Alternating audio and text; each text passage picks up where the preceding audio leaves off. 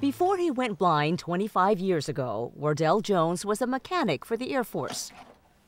Remarkably, he has taught himself to paint.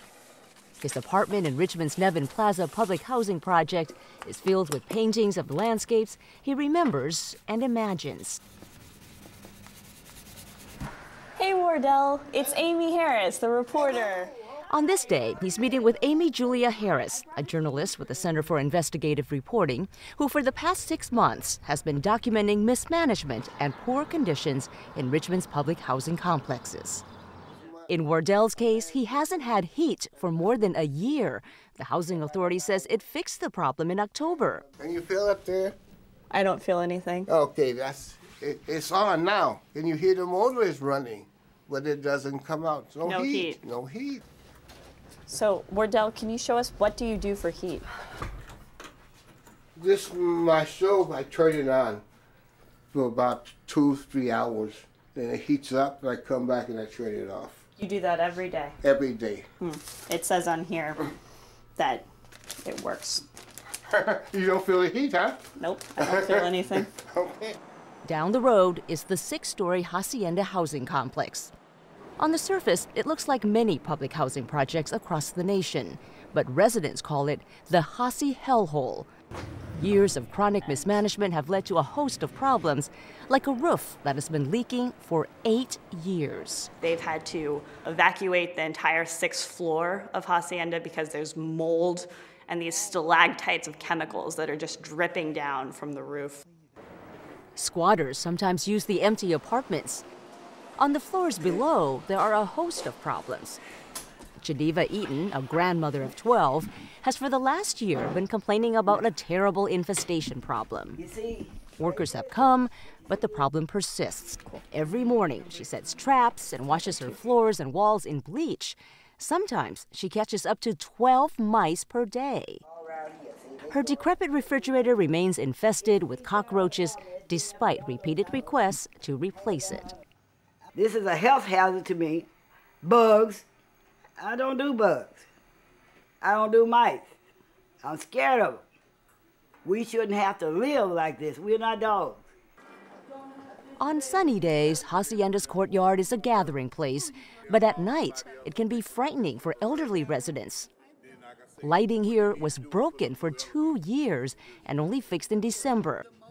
Rhonda Marshall was robbed twice. They had a gun too. Damn, you know what it was? Youngsters. And I know they belong belong to this building because we don't have no youngsters in this building. Visitors are supposed to enter at a security desk.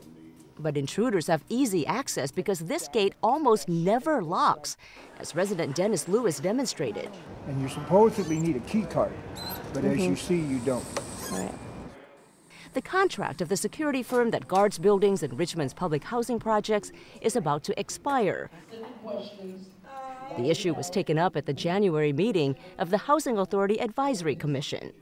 The Housing Advisory Commission is a seven member council appointed by the mayor that's supposed to advise the Housing Authority on all of the problems in people's apartments. And Commissioner Jackie Thompson wanted to know what needs to be done to find a new firm. How come this commission doesn't know that we are entering into a new contract? Tim Jones heads the Richmond Public Housing Authority. So if in fact it is of the opinion of this uh, board that we're not moving forward with this particular firm, we would make that decision then. But the original contract was But for do we have year. to wait till February to Well, we, make? we are actually in contract with them now, and the soonest we could do that would be with a 30-day notice. At the meeting, Tim Jones said, you know, don't worry about it. We're going to schedule a meeting. We have 30 days to cancel the contract if we want to. It's going to be fine. We actually went back and looked at a copy of that security contract, and it turns out it's 60 days to cancel, and the Housing Authority has already missed the deadline. Internal U.S. Department of Housing and Urban Development memos have criticized Jones for similar behavior in the past. Those same HUD memos also faulted Jones' overall leadership, chastising his agency for the quote, total lack of internal controls. HUD called him straight out ineffective, and it said that he failed in a few key areas. So, one job of a housing director is to just make sure that the finances are in order. And under Tim Jones's watch, you know, the housing authority is $7 million in debt. They haven't turned in their audits to the feds on time for years and years. HUD also said he didn't even respond to their emails. While Jones does have his supporters on the advisory commission, several are critical of him. None more so than Sylvia Gray White, a retired former public housing manager with decades of experience. I think it's the director. What do you mean you think it's a director? I don't think he knows what he's doing. And as we're talking to her, we just hear this beeping horn. Uh, and it turns out it was another advisory commission member who said, Look, you're not allowed to talk to the press. You're saying all of these negative things. Don't talk. okay, you can't shut me up. You can't pay me to shut up. No. That's why they put me on this board, because I will tell you what's going on.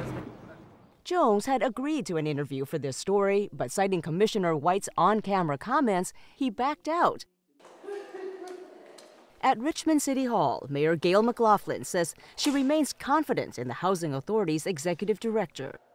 I have always found um, Mr. Jones to be uh, extremely responsive, and every time I bring something to his attention, he's right there. So I'll continue to work with him.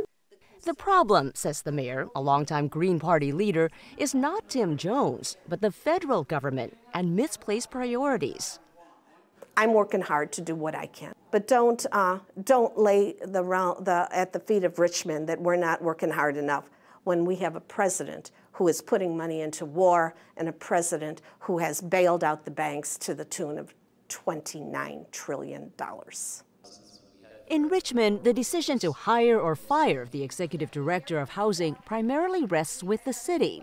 But HUD's top official in the western U.S., Ophelia Basgal, says there are other options.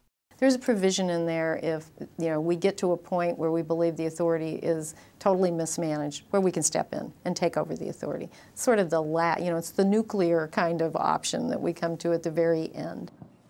A Freedom of Information request revealed that HUD staff thought firing Jones in 2012 might help resolve the problems, but noted likely opposition from Richmond's mayor and city council. The federal agency put Richmond under a strict improvement plan that, if not followed, could end in the nuclear option. Basgal says the Richmond Housing Authority has made improvements. Richmond is on track with its corrective action plan. For Geneva Eaton, it is too little, too late. Instead of fixing it right, here they are down there making it look good for her downstairs, but look at the people up here, how we're living up here.